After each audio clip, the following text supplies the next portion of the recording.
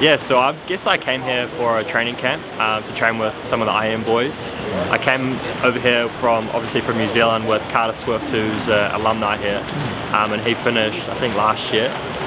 So he pretty much invited me around to say like, look, you may as well come over while I'm coming over, and we may as well try make a training camp out of it.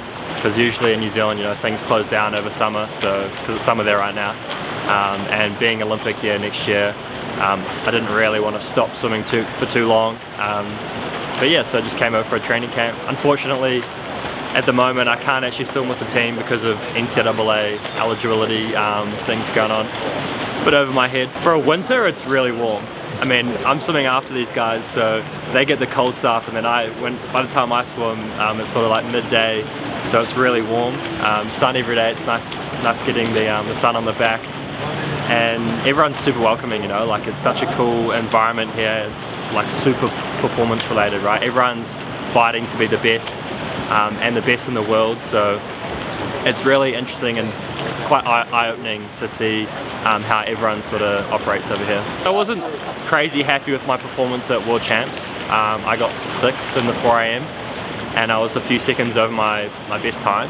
Um, but I feel like that was probably a blessing in disguise, you know, like a bad performance gave me a whole bunch of new motivation to swim really well. I actually, a couple months ago, just left my hometown um, and moved to like our biggest city in New Zealand to sort of switch up training and really put my best foot forward um, for, for Paris and I think it's, I hope it'll pay off, you know, I've, the, the month that I was there before I came here um, was really enjoyable and training was slightly different. Um, but yeah, I think it's really exciting going into the sort of next six months. Coming off the back of this training camp, we'll, I'll go back home um, and pretty much instantly start preparing for World Champs in Doha. Um, I'll go to Doha and that'll hopefully be where I punch my ticket to Paris. And then sort of that next sort of five or six months will be a mixture of training and racing.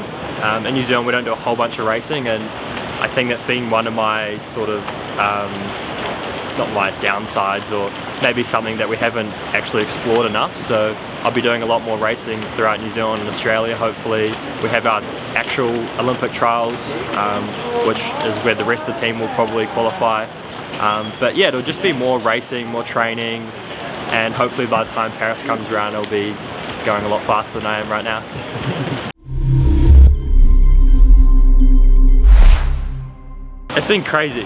Um, the last few years, it's sort of, I mean, coming from New Zealand, we don't have medal, many people winning medals on the world stage. And um, it doesn't happen often and we don't really know how to win medals. So that's why we come to, you know, the States, Australia, to figure out what you guys are doing to actually get there.